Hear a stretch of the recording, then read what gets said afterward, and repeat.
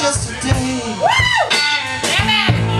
I pick up the extension. I remember what you said, motherfucker.